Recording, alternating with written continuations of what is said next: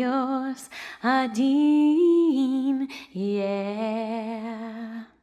One happy birthday dot com.